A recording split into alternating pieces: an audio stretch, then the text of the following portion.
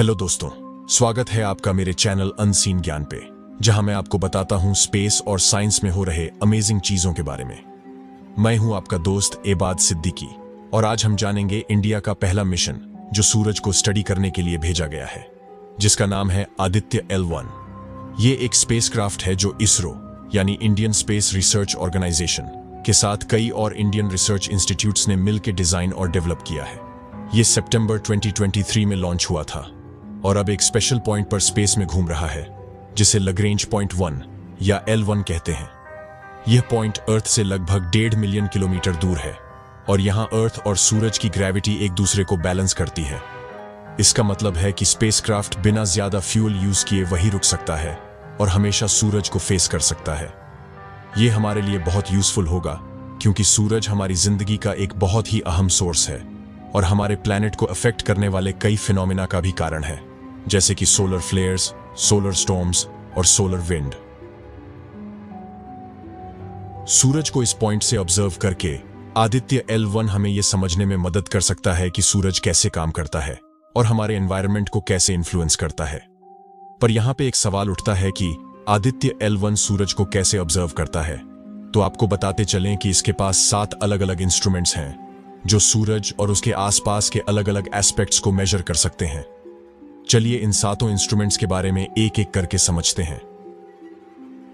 पहला इंस्ट्रूमेंट है e जो विजिबल इमिशन लाइन कोरोनाग्राफ का शॉर्ट फॉर्म है। यह एक डिवाइस है जो आर्टिफिशियल इक्लिप्स बना सकता है। सूरज के सरफेस की चमकीली रोशनियों को ब्लॉक करके और सूरज के एटमॉस्फेयर की फेंटर लाइट को रिवील करके, जिसे कोरोना कहते हैं। यहाँ पे कोरोना बहुत इंपॉर्टेंट है।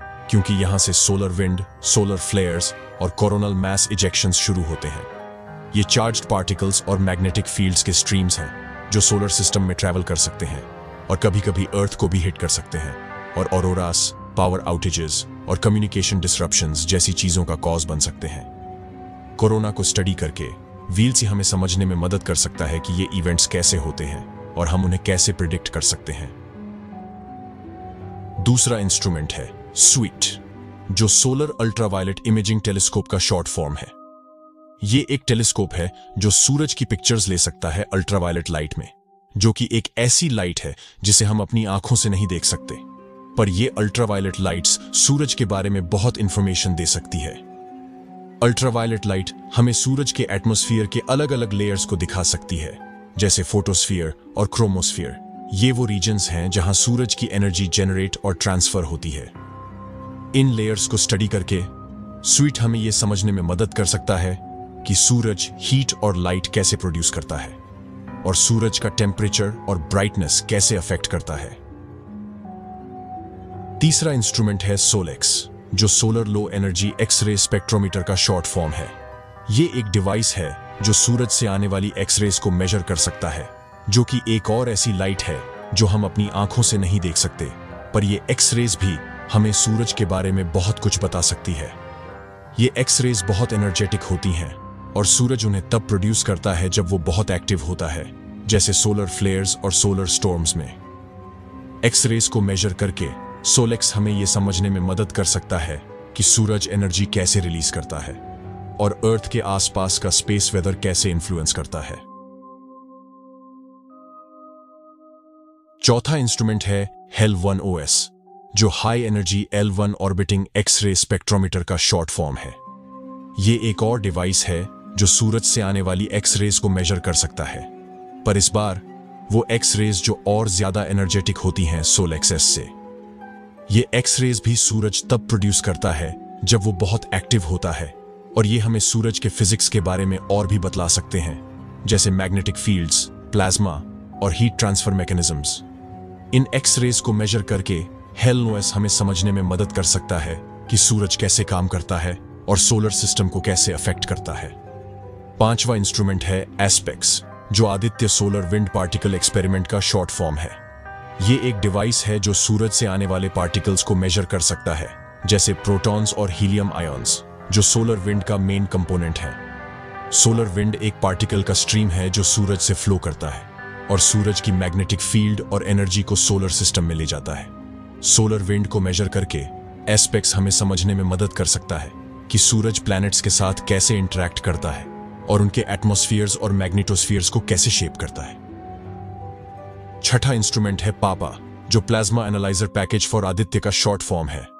यह एक और डिवाइस है जो सूरज से आने वाले पार्टिकल्स को मेजर कर सकता है, पर इस बार वो जो ज़्यादा डाइवर्स और कॉम्प्लेक्स होते हैं, जैसे इलेक्ट्रॉन्स और हेवियर आयोन्स ये पार्टिकल्स भी सोलर विंड का हिस्सा हैं।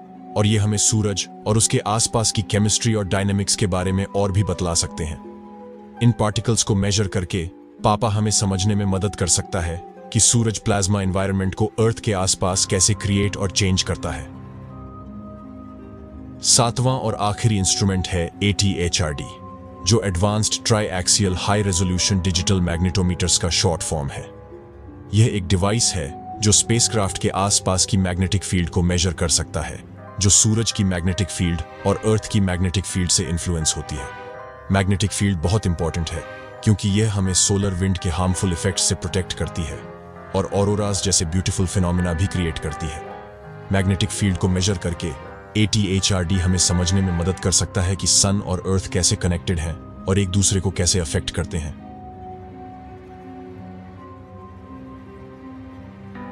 तो यह थे सात इंस्ट्रूमेंट्स जो आदित्य एल वन के पास हैं और जो इसे एक कॉम्प्रिहेंसिव सोलर और स्पेस एनवायरनमेंट ऑब्जर्वेटरी बनाते हैं। आदित्य एल वन इंडिया का पहला मिशन है, जो सूरज को ऑब्ज़र्व करने के लिए डेडिकेटेड है और यह International Living With a Star यानी आईएलडब्ल्यूएस प्रोग्राम का भी हिस्सा है, जो कई स्पेस एजेंसीज के कोलेबोरेशन से है, जो सन और उसके इम्पैक्ट को अर्थ और दूसरे प्लैनेट्स पर स्टडी करने के लिए है। आदित्य एल वन कम से कम पाँच साल तक ऑपरेट करेगा और हमें वैल्यूएबल डेटा और इनसाइट्स देता रहेगा। हमारे स्टार यानी सन और हमारे होम यानी पृथ्वी के बारे में। दोस्तों, मुझे उम्मीद है कि आपको ये वीडियो पसंद आई होगी और आपने आदित्य एल वन और उसके मिशन के बारे में कुछ नया सीखा होगा। अगर वीडियो पसंद आई है तो प्लीज़ इसको लाइक कीजिए, अपने दोस्तों के साथ शेयर कीजिए और मेरे चैनल को सब्सक्राइब कीजिए। और बेल आइकॉन को भी दबाना ना भूलिएगा, ताकि मेरी नेक्स्ट वीडियो की नोटिफिकेशन आप लोगों के पास पहुँचती रहे। आप लोगों का बहुत बहुत धन्यवाद इस वीडियो को देखने के लिए, और मैं आपसे अगली वीडियो में मिलूँगा। तब तक के लिए अपना और अपने परिवार का ख्याल रखिएगा। जय हिंद, जय भारत।